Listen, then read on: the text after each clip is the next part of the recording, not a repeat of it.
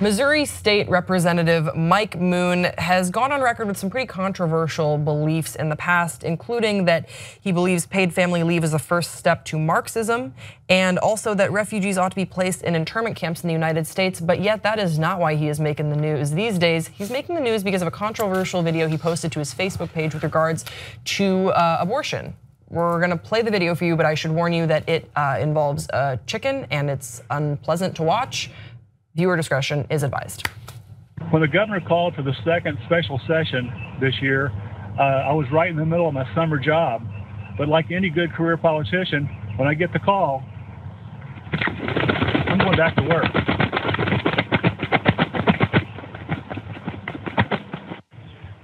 God gave man dominion over life. He allows us to raise animals properly and um, care for them, and then process them for food so we can sustain life. And that's what I'm doing here with this chicken.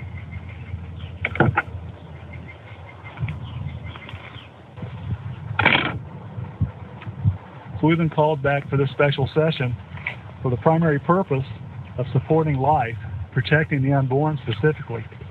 And uh, I think we need to get to the heart of the matter here. So today, I'm filing a bill that will lead to the stopping of abortion in the state of Missouri, and I hope you'll support it. So stay tuned for more details. Uh, okay. Wow. Um, so Alison Dreith, who's the executive director of NARAL, which is a pro-choice uh, Missouri organization, said, "quote." Whatever Mike Moon does with a chicken in the privacy of his home is his own business, but we will not let him use the rights of women across Missouri as some kind of political prop. His call to ban abortion is disturbing and dangerous, no matter what he does with that chicken. And for those of you unfamiliar with exactly what the state laws in Missouri are with regards to abortion, uh, here they are. In Missouri, those seeking abortion care must already receive state directed counseling that includes information designed to discourage them from having an abortion and undergo a 72 hour waiting period after having this counseling before they may have the procedure. State law also bans abortions after the point of viability, and state lawmakers are attempting to pass a bill that would ban all abortion after 20 weeks gestation. There is only one place in the entire state, the Planned Parenthood Health Center in St. Louis, that meets the state standards as a result of restrictive TRAP laws to perform abortion care. Um, okay, so he is making the rounds on social media. A lot of people have thoughts on this, uh, both pro and against. Do you think that he proved his point, Amir? Wherever you stand on abortion, did this did this video make a point to you where you get it? A chicken abortion correlates dead chicken, dead baby. Got it? No, not not no? not okay. the slightest bit. Explain yourself. Uh, the, the, the, whole chicken thing just detracts from any point he was trying to make. And it actually makes him look kind of like an insane person. And it's like, would I, do I really wanna align myself with that? No, I don't think so. And like, look, the whole chicken thing doesn't even really bother me. That's that's how you kill a chicken and process it to mm -hmm. eat. But like, why why are you trying to equate the two? I don't I don't get it. That's where it doesn't line up yeah. for me because we're talking about I, I am pro-choice. I think it's really important to let a, a, woman choose what she wants to do with her own body.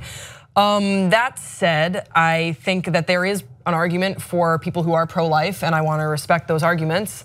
But I don't think that equating the life of of the unborn to a chicken in your backyard um, is helpful. The best move. Yeah, I just I don't I don't understand the point that he was trying to make. I think that there I, I've heard very strong arguments for the pro-life movement. I don't think that we should throw out an entire perspective on this. That said, that's not a good way to prove your point. I I am confused. What we should protect? So he says man has dominion. God gave man dominion over all the earth, all the creatures to, for life and for death. But then he's so he, it was his choice to kill that chicken. So is he now pro-choice? You know what I mean? Like we're supposed to take care of things to create new life, I, and I by would, doing that, by taking care of things, I'm about to kill this chicken. You'd probably argue that that chicken is is on this earth to to feed us and give sustenance to us. Okay. So he's not so making a choice. create babies. He's not making. what? I don't know. I was hoping so you, you could translate for me. And then you get ready to have a baby. It's That's how it works, right? also a chicken is a very is a I mean this is ripe for metaphors because chickens lay eggs and the whole conversation is what came first, the chicken or the egg, right?